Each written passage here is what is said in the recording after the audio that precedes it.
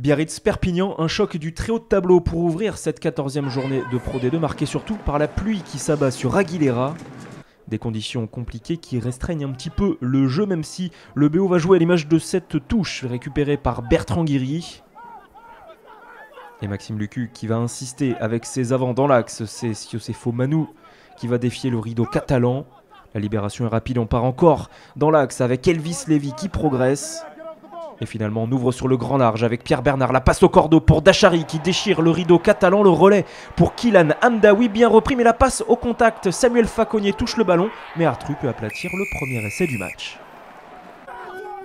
7-0 après la transformation de Bernard, mais Perpignan revient dans ce match et monopolise pas mal le ballon. 20 minutes plus tard, Jens Torf est bien servi en première main, il progresse.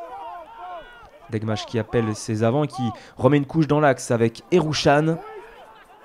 Encore une libération très rapide pour les Catalans. Segui qui temporise et fixe les derniers défenseurs. Torf la passe au contact et en bout de ligne, ça s'ouvre. Premier essai catalan pour Samuel Faconnier. Pas de soucis pour la passe pour toi Donc on est bon 7-5 puis 13 à 8. Deux pénalités pour Biarritz, une pour Perpignan, mais Jean-Bernard Pujol se met à la faute juste avant la mi-temps. Il est cope d'un carton jaune. Et vous allez voir sur ces images ce ralenti qu'il tape sur le ballon de Maxime Lucus. C'est interdit. Un acte d'anti-jeu qui est tout de suite puni par le pied de Pierre Bernard. Biarritz mène 16 à 8 à la mi-temps.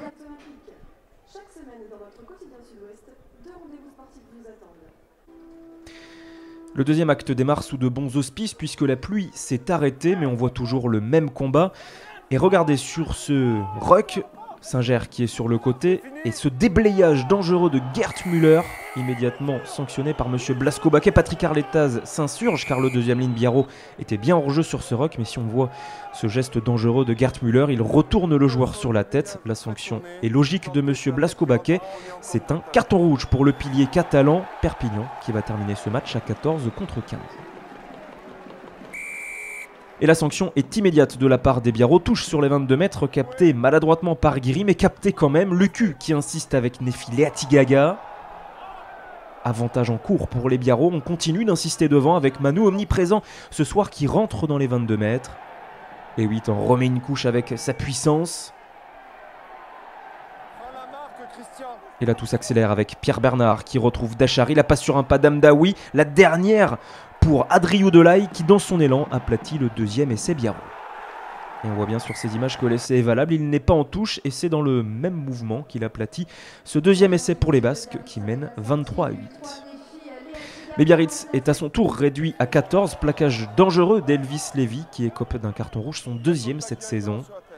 Et on voit bien sur ces images le choc impressionnant sur Beren Botta qui sortira sur Sivière. Suspicion de fracture de la pommette, mais tout s'accélère quand même pour le BO. Kylan Amdawi profite du bon jeu au pied de Lucu pour aplatir le troisième et c'est Biarro. 30 à 11. Pas de bonus pour l'instant pour les Biarro, mais suivez bien cette action catalane. La sirène retentit. Et suivez ce dribbling d'Alex Araté sur 80 mètres à remonter. La course du 3 quarts centre qui est devant tout le monde. Il prolonge au pied.